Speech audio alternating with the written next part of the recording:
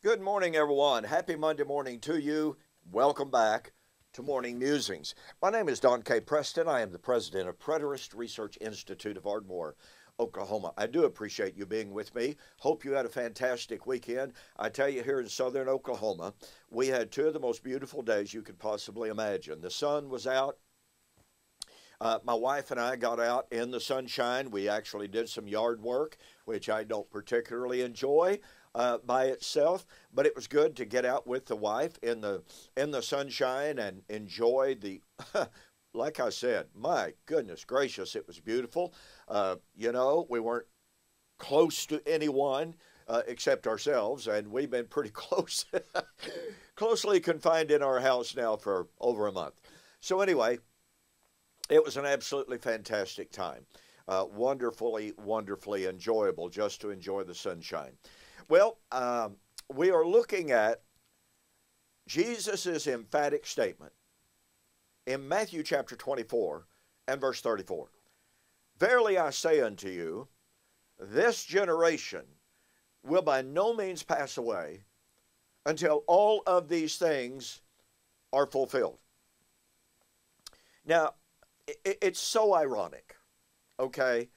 And it's so revealing one of the uh, arguments, if you want to call it that, one of the arguments that is commonly leveled at covenant eschatology, those of us who accept the Lord's fulfillment of his promises in AD 70, it, it is often claimed you guys just redefine terms all the time. You just make up definitions. You change the vocabulary of the Bible. Well, then we come to Matthew chapter 24, verse 34. And oh, by the way, that accusation is blatantly false. But anyway, they make it because they can't defeat us any other way, so they just make stuff up, literally. Uh, well, I won't get off on that soapbox. so, anyway, we come to Matthew chapter 24 and verse 34. Now, what do all of the lexicons, virtually every lexicon that's ever been printed, say that the term this generation, what do they say it means? Well, Thayer says, well, it might mean this in this passage, but the passages that he adduces don't support what he says. But nonetheless, virtually all lexicons say that the term this generation with this specific demonstrative you know word that is used there means all the people living at a given time.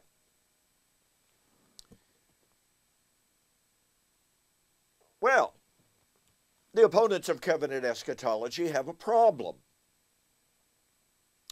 Because you see if they take if they allow this generation to refer to all of the people living at a given given time just like it's used in the rest of the Bible, the New Testament particularly.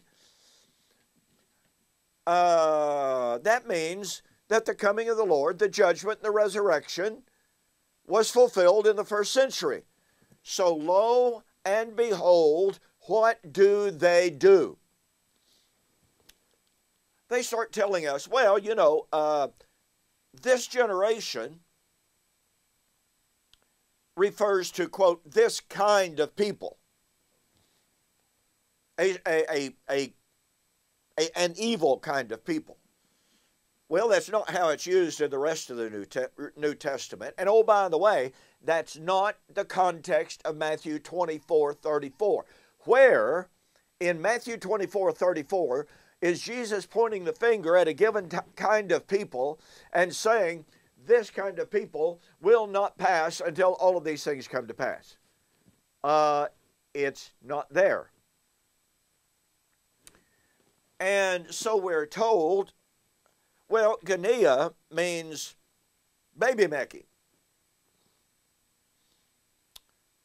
And thus Jesus was supposedly saying, well, producing babies, having babies, will not pass away until all of these things are fulfilled. Well, once again, you have to import that definition into the text.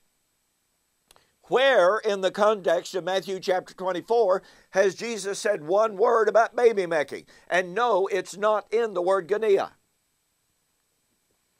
Someone wrote to me just the other day on Facebook, and they pointed out that in, in an Aramaic trans, translation, that it uses the word tribe.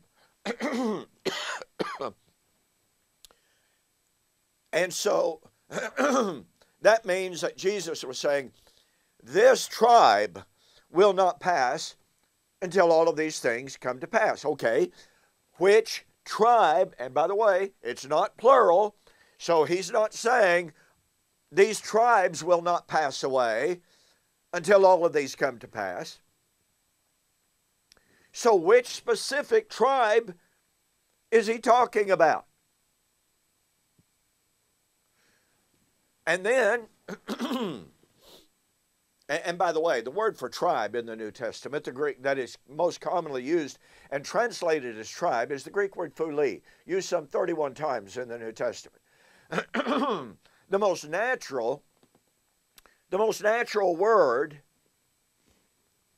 for Jesus to have used, if he's talking about the tribes, would be Phuli. And by the way, all the tribes of the earth shall mourn. Verse 30. Phuli. So that would mean this argument, if he's talking about tribe, it would mean that he goes from the plural to the singular.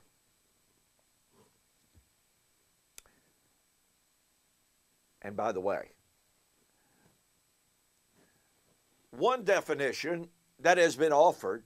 Now, I must say this those who have offered this translation down through the years, which is more of a uh, which is more of an interpretation than it is a, a definition, pardon me, or a translation, translation,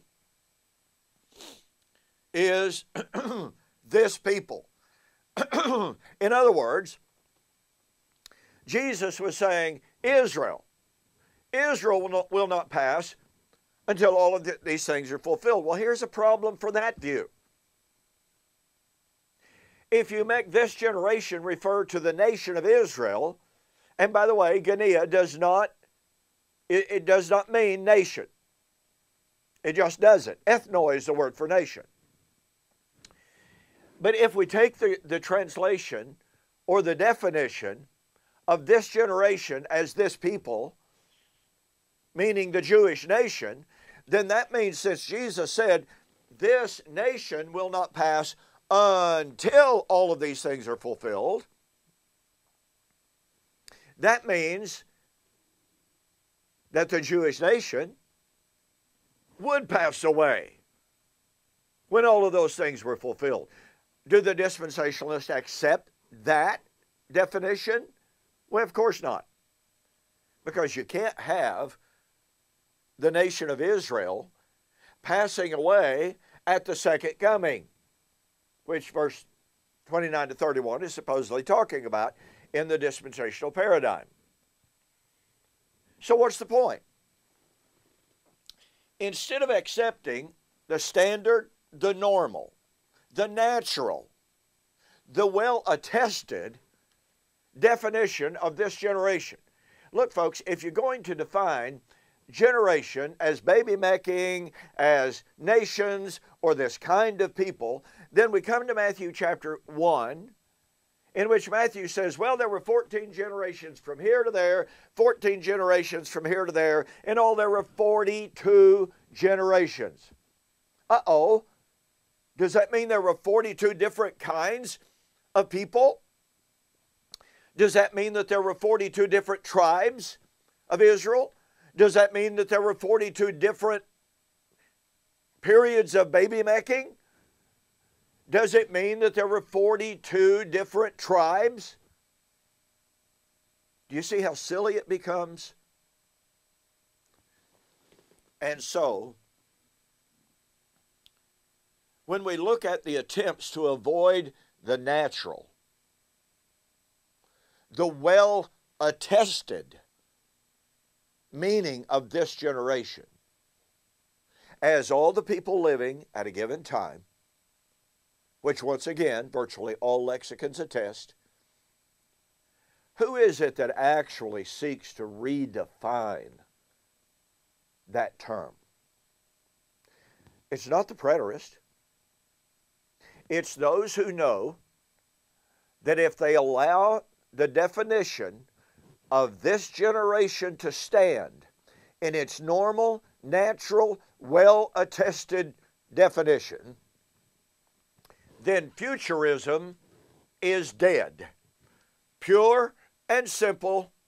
What, what, what's that saying they've got that was so popular for a time? Mic drop. Game over. Game, set, match. So consider that the next time someone says, Oh, preterists are always redefining the words in the Bible. Preterists are always redefining the terms in the Bible. No, no, no. Who is it?